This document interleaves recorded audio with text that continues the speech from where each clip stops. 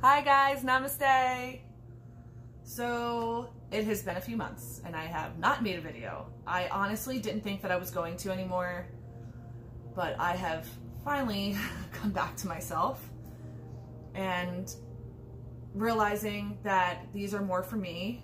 I hope that the experiences, if you guys are, are watching, that you're gaining something from it as well. Um, so I wanted to come clean first thing first. I did try smoking weed. It did not work for me. If it works for you, that is awesome. I am still a huge advocate. I think it's amazing. I believe in it because it is a plant. I do believe um, if it's organic, like that's just my, that's for me. I um, that's just my experience, my perception of it. Um, I have no idea of what I smoked, if it was organic or not. I have no clue, um, but it did not work for me. It made me overthink more than I already do, which I don't like. I need to calm myself in um, overthinking. I am much happier just being altruistic to myself and organic and not having anything in my system. I uh, realize that for me, what works is knowing that the only way out is through, and I have to deal with these things and I do believe that I was trying to smoke to get outside of my experience um, because at that time and moment, I was dealing with um, relationships that I believe I was trying to tell myself that I felt differently or that I, I could feel differently about it.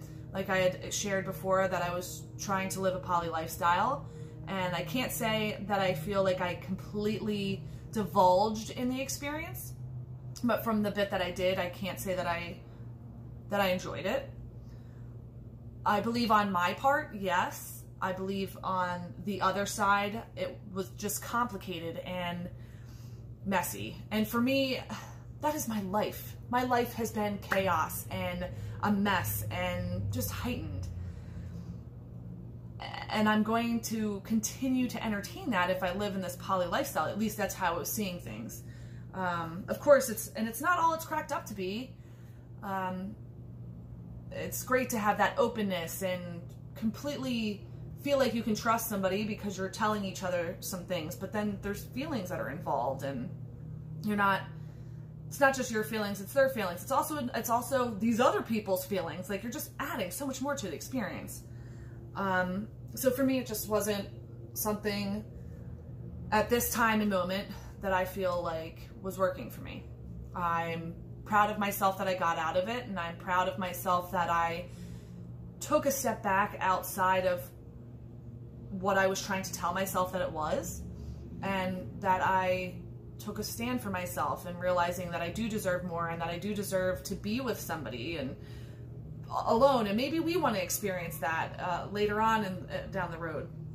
Um, but just took myself outside of these toxic relationships um, I have started dating monogamously, and that's difficult. Um, this is the healthiest relationship that I've ever been in, and the fact that it's not someone who's married or somebody who has addiction problems. Um, but it's also scary because we come from two opposite sides of the track and trying to get like bridge a gap in making this work and realizing that I've created habits for myself over the, the last several years and working on getting outside of those, not trying to push people away anymore.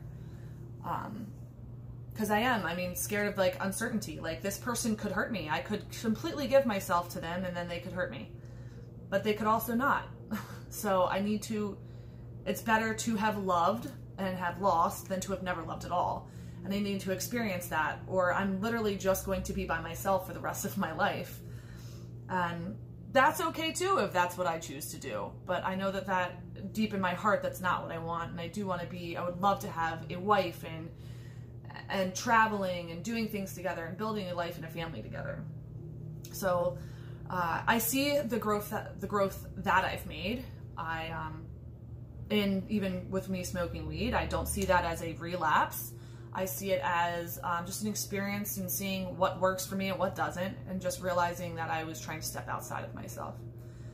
And realizing that the only way out is through, and I have to deal with these issues in myself and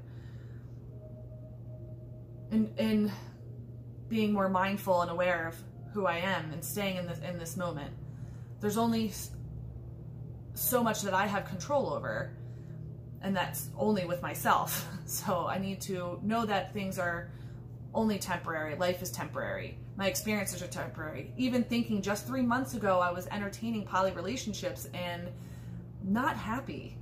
And now I am getting back to myself and realizing like this is what makes me happy. It's focusing on the things that I want and need in my life and and having healthy organic um, communication and and love for myself and knowing that like I need to have myself and be standing next to somebody that relationships aren't about completely divulging and cutting yourself dry and bleeding yourself out to be with somebody. Um, and realizing that it's it's wild. I've um, I'm very thankful and how much that I've grown in that because I don't think that I could have ever entertained a healthy relationship up until now. And um, with even that being said, the stress, I've had a lot of stress going on. Another reason why I haven't um, made a video. Um, so I don't know if you can see. You can't really tell. It's not as bad. Um, but I had just been diagnosed with a rare eye disorder. It's called Coats disease. So I've been losing eyesight in this eye for probably like two years and I ignored it. I am definitely the type of person who is terrified of doctors. I've been misdiagnosed twice with certain things and like sent home to die. So I get scared and nervous with doctors and I just try to brush things off that it's not that big of a deal. Because if I'm going to die, I'm just going to die. um, so it started off with me seeing like flurries and somebody told me that that was normal. It would be normal if it was in both eyes or if it was something that I was a common to when I was younger. But if it just happens, it's not normal. So I end up going to the doctor trying to see what's going on because I then started to lose peripheral vision in this eye. Like, so the picture isn't all there. Like, there's a piece that's missing from this side.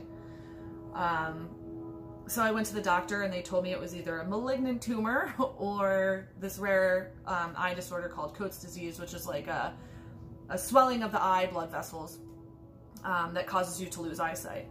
So luckily it is Coats disease. Unfortunately though, it is something that can be progressive and I can lose my eyesight. So of course, another thing that I was trying to lie to myself and tell myself it's not that big of a deal, it's okay, like it's just my eye, like it's not, it's a small organism in my body, blah, blah, blah. It's really not. I mean, I had 20/20 vision and now I have maybe got 80% eyesight in this eye. It um, is something that I'm going to have to keep on top of. I could eventually lose my entire eye. Um, but that's just a small chance. It's something that I have to take. So it was terrifying. I've had to have laser treatment and cryogenic and it's been extremely stressful telling me how painful it's going to be in these experiences. And I missed a week of work. Like I couldn't, I could not see out of this eye barely. Um, my eye was swollen and red and disgusting. And uh, so realizing all this stuff and just like calming to realize like this is temporary. Live inside the moment for right now and that I, maybe, I might lose eyesight in this eye. Maybe things don't work out between me and this girl. Maybe I don't have tomorrow, but just to stay in this moment and enjoy what I can and trying to remind myself and to center myself each day and I think that's so important because we allow ourselves to get so clouded with our mind and how wild this thing is. I mean, the, like it's a computer system that is just processing new things all the time at every given moment. So just like reminding myself to to meditate and to be mindful and to be aware of like what's happening in this moment right now. So that's really all for me. And I hope that you guys are all living a happy and sober life and continue to watch me. Hopefully I'll be making more videos. I know I said that the last one, so I don't really know. But that's all I got for now. Namaste sober, and I hope you do too.